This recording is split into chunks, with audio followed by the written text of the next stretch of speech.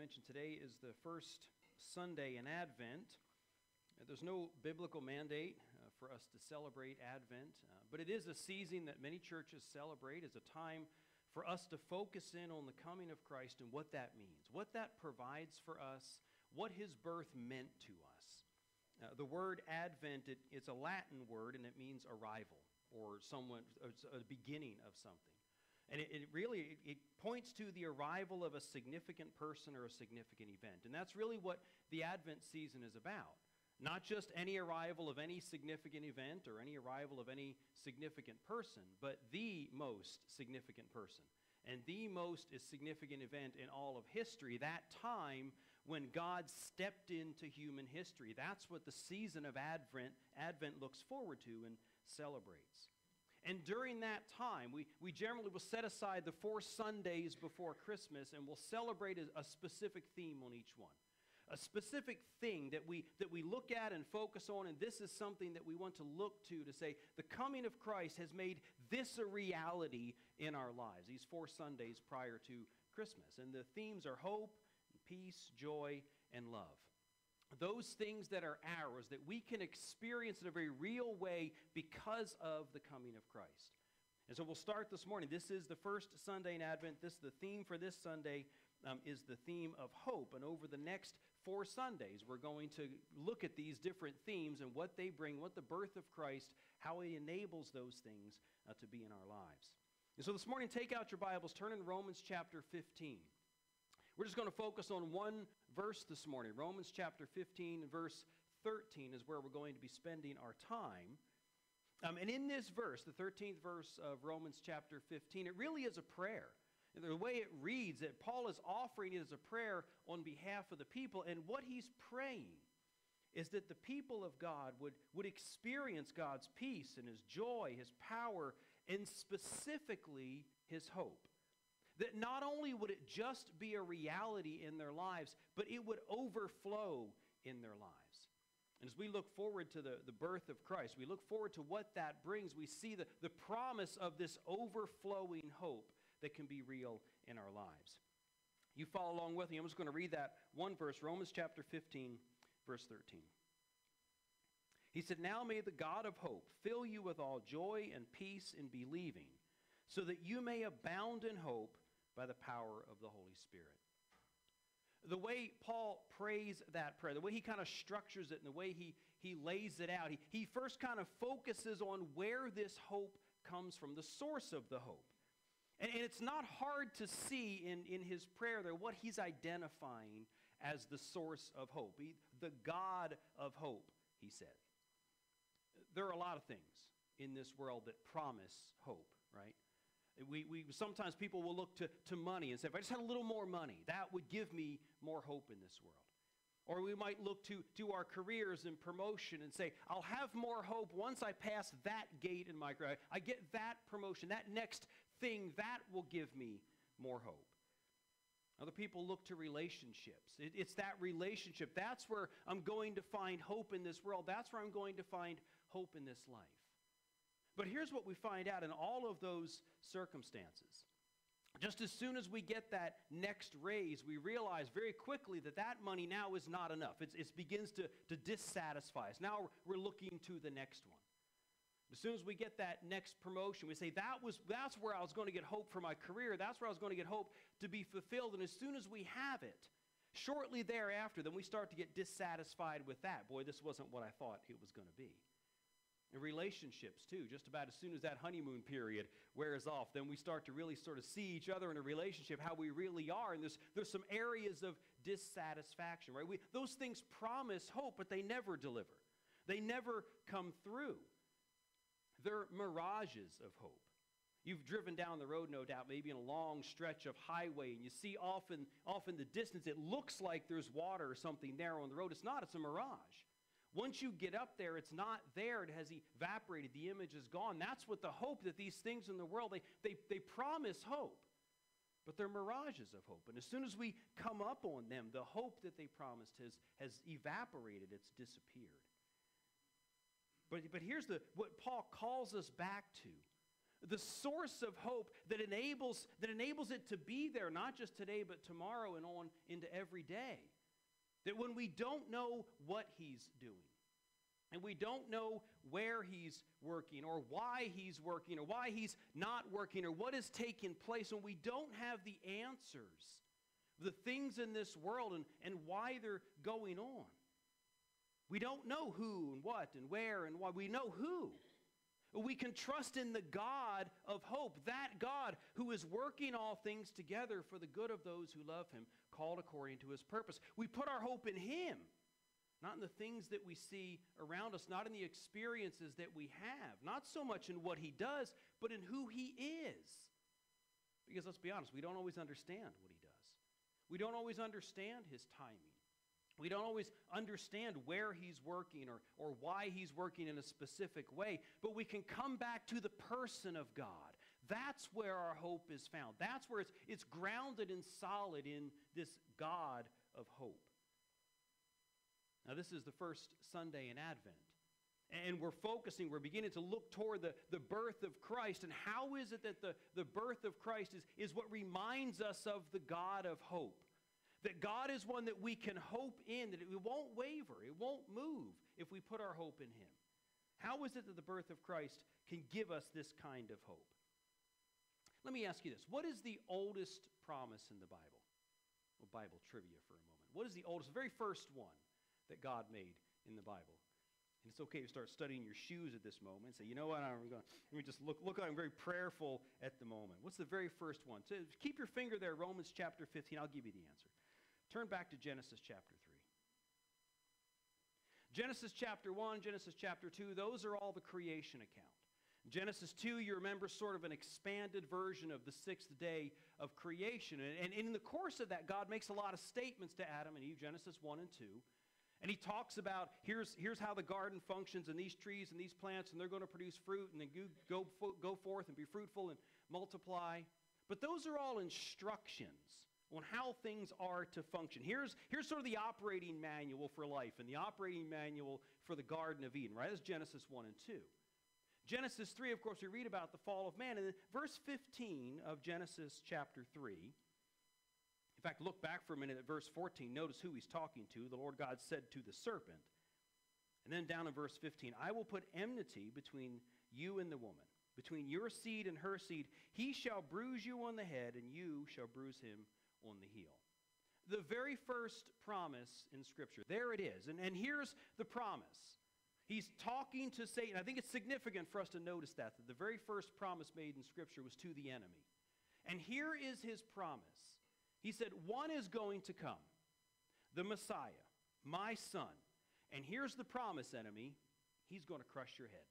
That's the promise, the very first one in Scripture. Certainly not a, a promise that the, the enemy was eager to see fulfilled. And certainly you can see why, at the birth of Christ, why he moved in the heart of King Herod to, to destroy all of the, the, the, the baby boys two years old and younger because he knew this promise was going to be fulfilled, not one he was eager to see happen.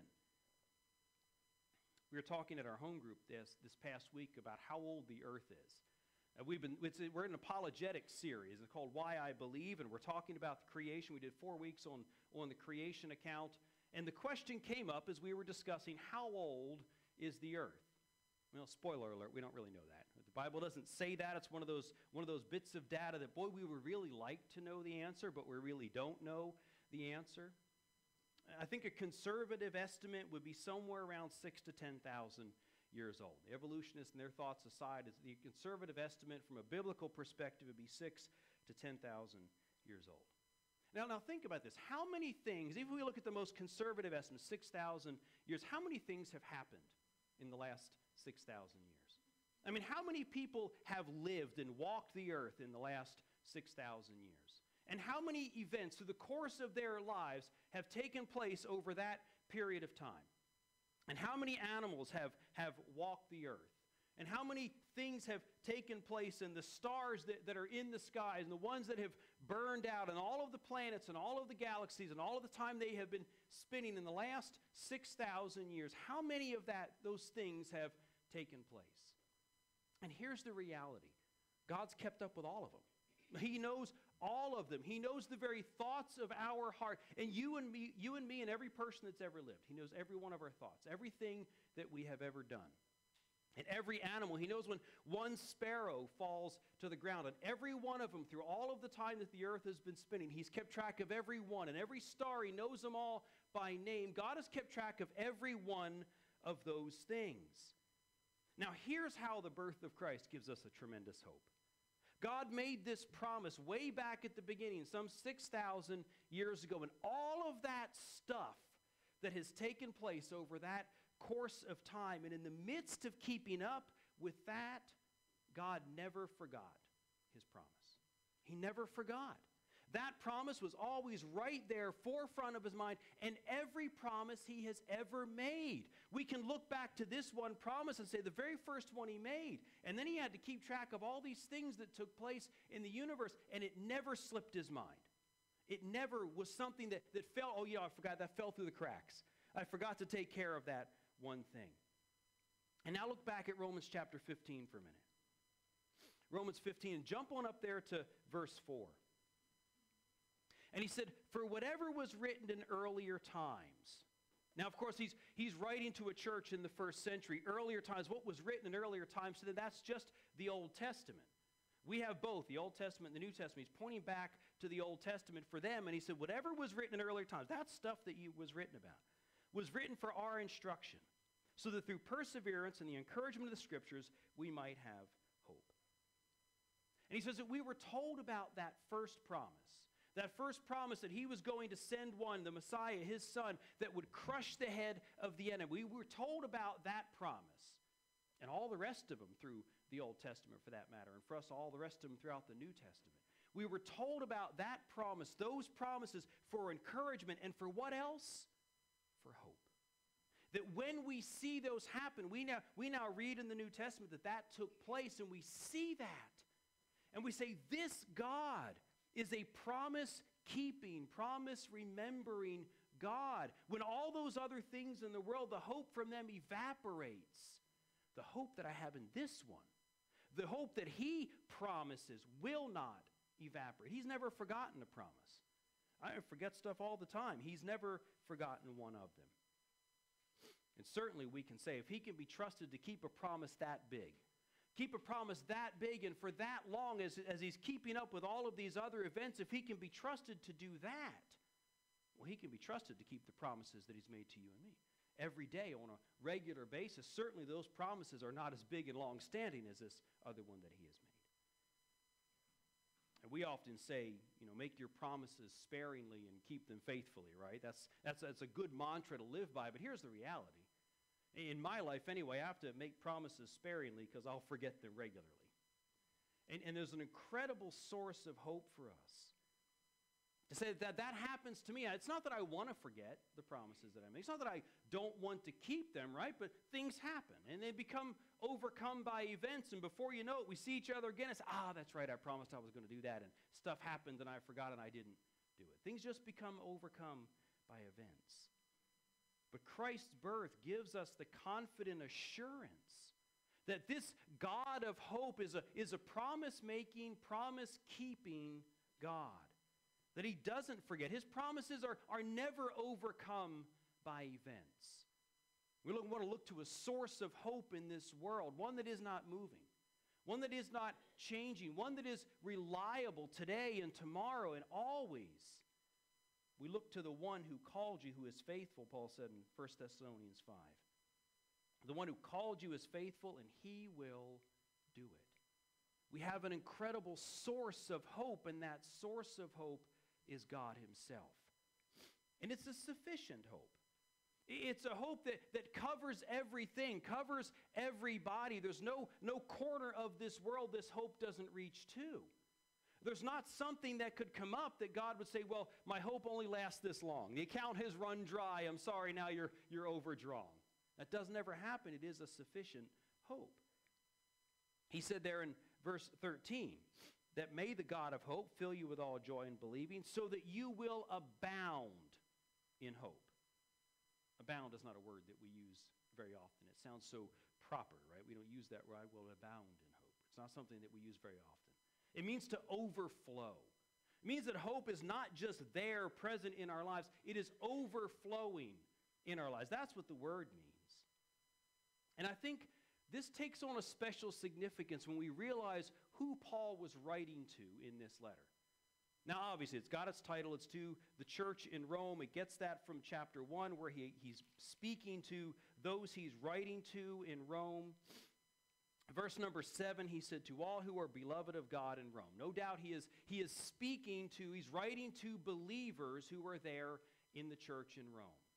And then chapter 1, verses 5 and 6, so right before he says that, he says this to them Through whom we have received grace and apostleship to bring about the obedience of faith among all the Gentiles for his name's sake, among whom you also are the called of Jesus Christ.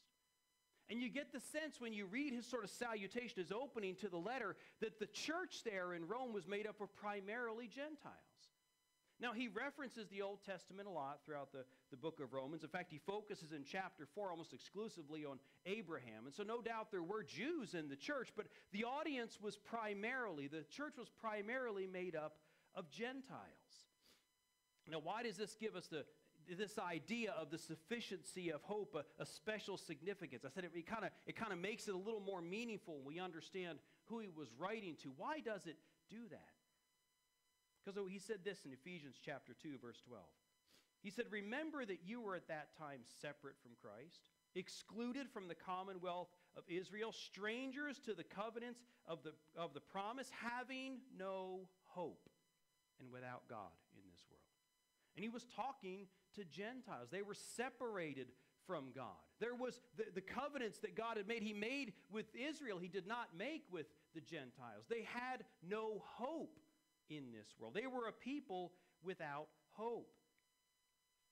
And then look at verse 12 of Romans chapter 15. Here he's quoting Isaiah, Isaiah chapter 11, he's quoting there. And he said, There shall come the root of Jesse. Of course, he's talking about Christ, the coming of Christ, and he who arises to rule over the Gentiles, and in him the Gentiles shall hope. They were a people without hope a people to whom God did not make his covenants. They were without him in this world and ultimately without hope. And the coming of Christ means that they now have hope. It, there is a sufficiency to this hope. I mentioned last week how excited I was that we put up our Christmas tree. The other thing we did as we put up the Christmas tree, I can't remember if we did this while we were putting up the tree or after we did it, but we watched the greatest Christmas movie that has ever been made. Now, I know you probably have some thoughts. When I say that, you probably have some thoughts about what that movie is. And you might think about things like Silver Bells, and that was a great movie. You might think uh, maybe Miracle on 34th Street, and that was a great Christmas movie. You might think about um, what's the one with Jimmy Stewart? It's a Wonderful Life. You might think about that. You might think those are those are great Christmas movies. And you when, when you think about the greatest Christmas movie ever made, you might think about those. But I'm going to tell you this morning, you're wrong. It's not any of those. In my, I believe the greatest Christmas movie ever made was a Charlie Brown Christmas. And don't scoff. Don't scoff at Charlie Brown. Don't roll your eyes at Charlie Brown. What's the usual message of Christmas movies? Maybe, maybe reuniting with family members. There's a relationship that's broken and rebuilding that relationship. Or reconnecting with long lost friends. Maybe that's a theme of a lot of Christmas movies. Or genuinely being nice to one another. And there, there, is a, there is a group of people that looks to Die Hard as a Christmas movie. And maybe the theme of the Christmas movie would be a, a gun wielding Bruce Willis saving the day. And all of those things aside. And don't get me wrong, I'm a big fan of all of that. I'm a big fan of reconnecting with, with family members and rebuilding broken relationships. And I'm a big fan of reconnecting with folks you, you haven't seen in a while. I'm a big fan of generally being nice. Not so much I'm sure I'm a fan of a gun toting Bruce Willis. But nonetheless, I'm a big fan of all of those things. But that's the usual message of Christmas movies, right? You remember in the Charlie Brown Christmas, there is that, that scene. Charlie Brown is struggling with what is going on at Christmas. He doesn't quite understand it. And he, and he cries out, Can't somebody tell me what Christmas is all about? And the spotlight focuses on Linus, and he quotes there Luke chapter 2. He says, There were in the same country shepherds abiding in the field watching over their flocks by night. And lo, an angel of the Lord came upon them, and the glory of the Lord shone around them, and they were sore afraid. And the angel said unto them, Fear not, for behold, I bring you good tidings of great joy, which shall be to all people. For born unto you this day in the city of David is a Savior, tis Christ the Lord. And this will be a sign unto you. You will find the baby wrapped in swaddling clothes and lying in a manger. And suddenly there was, was with the angel a multitude of the heavenly host, praising God and saying, Glory to God in the highest, and on earth peace among men. And then Linus turns to Charlie Brown. He said, And that's what Christmas is all about, Charlie Brown. Now, you can, we can look at all those other movies and be entertained by them, but this is the only one that gets it right. This is what Christmas is all about. And did you notice who the angel said this good news would be for? All people. This is great news, good tidings of great news, which shall be for all people. This hope that the coming of Christ brings is a sufficient hope for all people. There is no one who is out of the reach of God's hope. No one who is out of the reach of Christ's coming and what that, what that can do in their lives. Titus chapter 2, verse 11.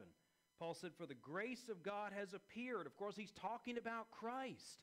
The grace of God has appeared that offers salvation to all people.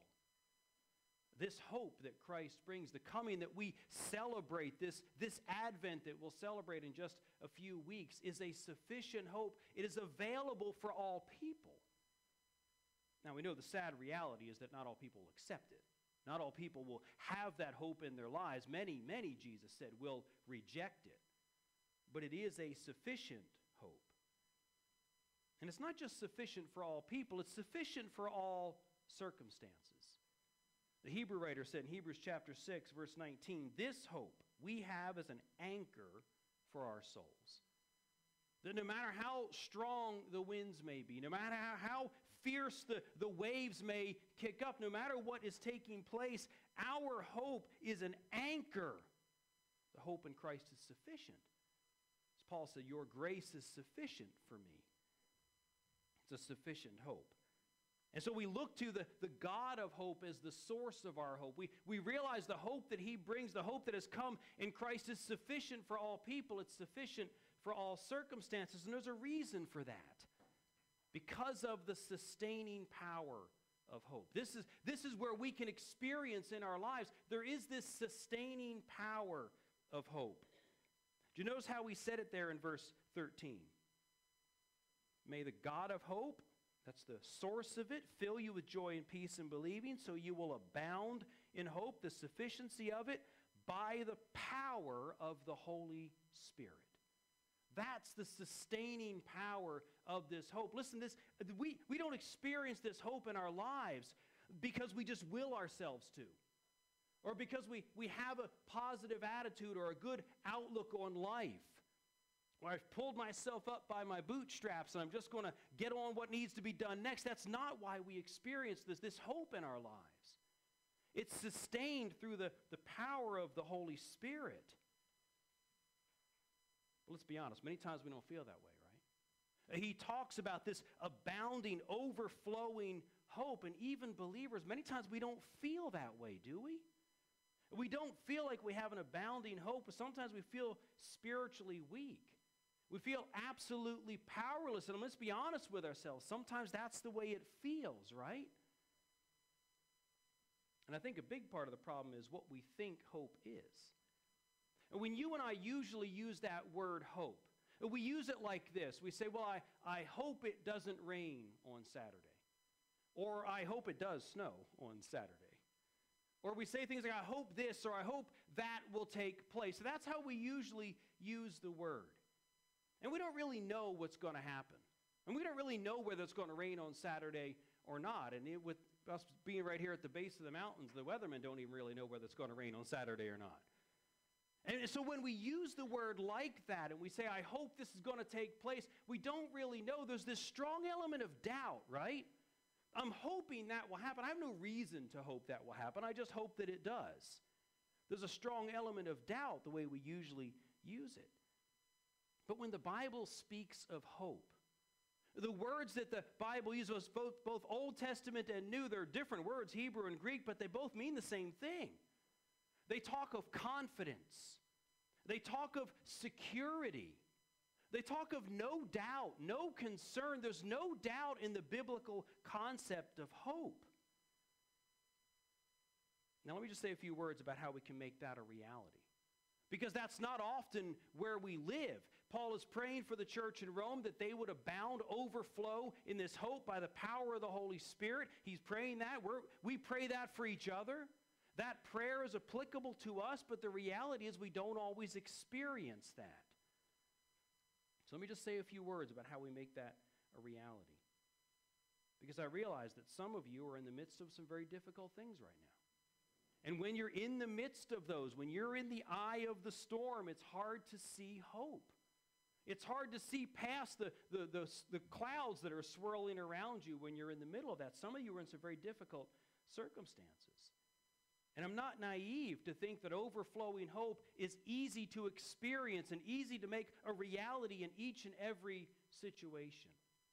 So, how is it that we can rely on this and experience this overflowing hope? If hope is going to be real, it's got to be based on something real. We looked at those things in this world that, that promise hope, the hope mirages of this world. They're not, the hope that they promise is not based on anything real. Oh, yes, the raise is real, the money is real, but the hope that it promises is not. The, that the promotion is real, and that's a very real thing that comes, but the hope that it promises is not. And that relationship, the hope that it promises, is not. If hope is going to be real and experienced in a real way, it has to be based and grounded and founded in something that is real and can provide hope. The God of hope, His track record of promise keeping, that's real. That's a, that's a reality we can count on. The spirit of power, those are objective realities. That's why Paul starts with those. Because if we're going to experience this overflowing hope, we have to look at these objective realities. Listen, our feelings can be manipulated, right? Circumstances, situations, things happen, and our feelings are easily manipulated.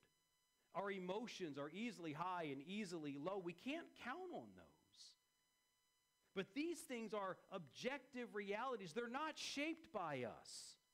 They're not shaped by our experience, we are shaped by them.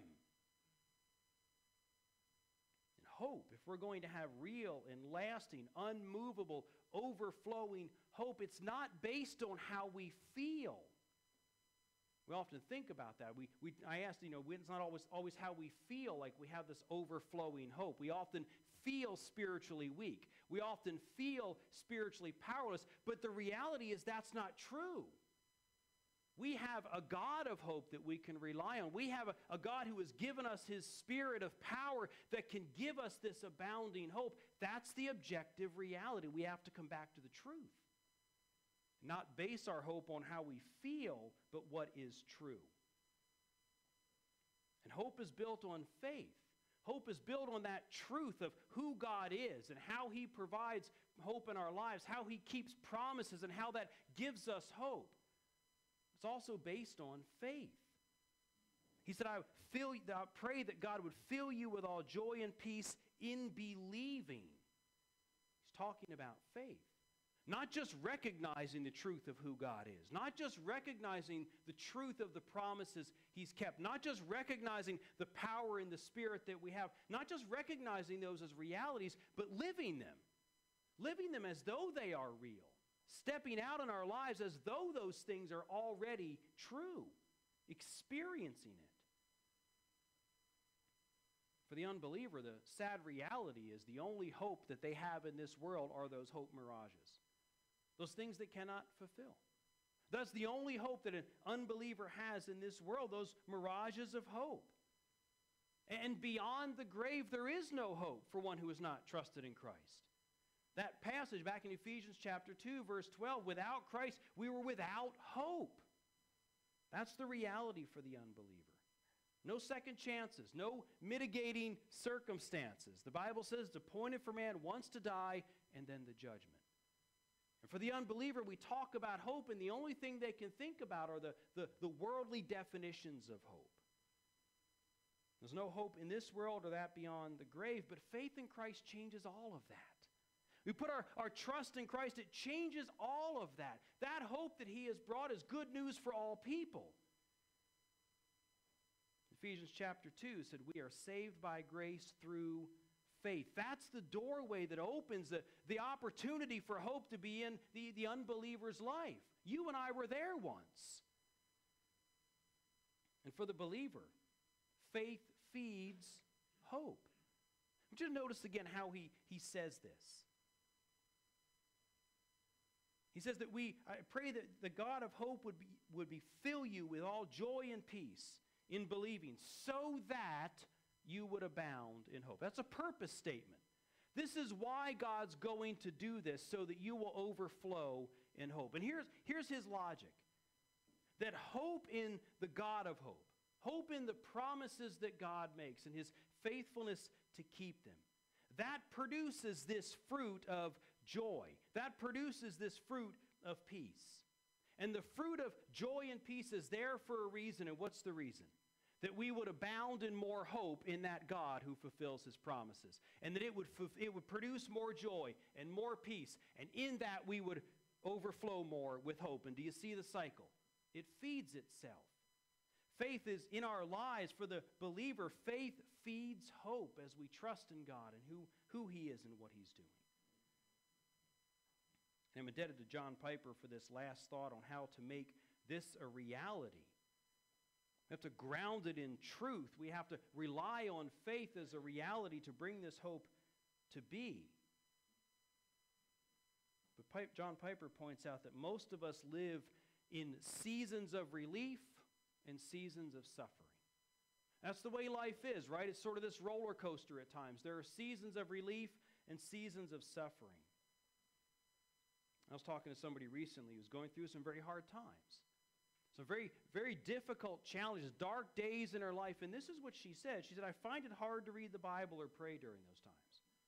Isn't that, isn't that just the way it is at times?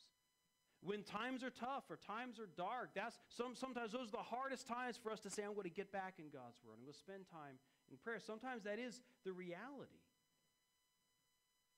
The seasons of relief are those times, Piper says, when, when you and I need to use all the means that God has, all that He has given us to prepare for the seasons of suffering. You know, we don't prepare for the battle in the midst of the battle. You know, we don't wait till the bullets start to fly and say, you know, I better figure out how to use this thing. That's not the time for us to prepare. We prepare for the battle before the bullets start to fly. And he says we, we need to use those seasons of relief as times so that we can prepare for the seasons of suffering. If you're in a season of relief right now, praise God. Use that as a time of preparation, reminding yourself of his promises, of who he is as the God of hope. Remind yourself of his track record. Read those, those wonderful stories we have of how he came through in, in the lives of all those Old Testament saints, how he came through. Those are reminders for us of his promise keeping. Remind yourself of who the Spirit is. Remind yourself of what He does, the reality that He is in your life. Allow those truths to feed and strengthen your faith. In a moment, we're going to celebrate the Lord's Supper. As we come around this table and we celebrate, it's a commemoration of, of Jesus' coming, a commemoration of the reason that He came. He came for the cross why he came and, and what he did that gave us hope. That's what the Lord's Supper is. As we enter this Advent season, let me ask you do you have this kind of hope? This abounding, overflowing hope. Do you have it? And will you reach out and trust him today so that your life can abound in his hope? Would you pray with me this morning? Father, we thank you Lord, we thank you for the opportunity that we have to gather together today and to celebrate this hope that you have given us. to be reminded of the things that you have written in the past that are given to us for encouragement and to build hope, to be reminded of who you are. And Father, in these next moments, as we gather around your table,